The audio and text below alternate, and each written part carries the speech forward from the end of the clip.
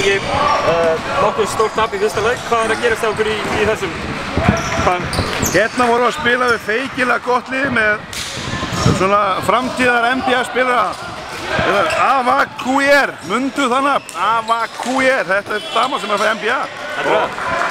Já, hún er treður og þetta er þrista og hún krossa fólk yfir og hún er tvekkja með þetta stelpa það er bara mjög langt síðan sé svona svakalega hæfileikaríka leikmann.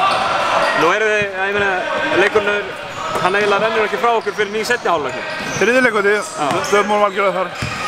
Missum, missum að, missum þar í að það er ná að reyfa boltan alltaf hratt á mót okkur og, og fengu allt opið skott. Og skoruðu 29 stíð ákveðin í þenn leikum þar.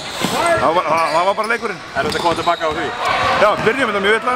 Vissum alltaf, eins og Finnlandi er bara mjög fysikal og, og fá að spila fysikal, erum með markmiðið að fá 50 villur í leik eða eitthvað og er alveg saman með það og, og það spila bara þannig og það komast upp með það því miður og við, bara, við vorum ekki bara tilbúin að ég því miðurinn í byrjun en, en svo láðum smá jafnvægi og náðum þessu leiknir í eitthvað fjögur stíg en missum þetta algjörlega frá okkur hann í þriðja. Það eru bara betri en við eins og staðin í dag og við myndum að spila aftur við þær í Europakefni og við myndum að nota þennan leik alveg gríðarlega til þess.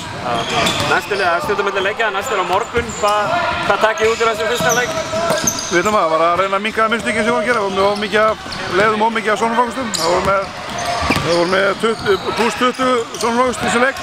Og það er ekkert að bjóða upp á það. Við verðum að frákasta. Þannig að það er eitthvað svona elja og bara það sem við þurfum að þurfum að ná einn og svo þurfum við bara að vera þegar við náðum að stilla upp og þá náðum við góðum sóknum. En það var bara alltaf sjaldan. Þannig að svona leikstjórnunin á leiknum, ekki þá beint leikstjórnandinn, heldur bara leikstjórnunin hjá leikmönnum og okkur, hún var bara ekki góð. Þannig að við fórum að fá, fá ekki eins góð skot eins og við vildum. En það var flótti búndar í þessu. Gægja, takk.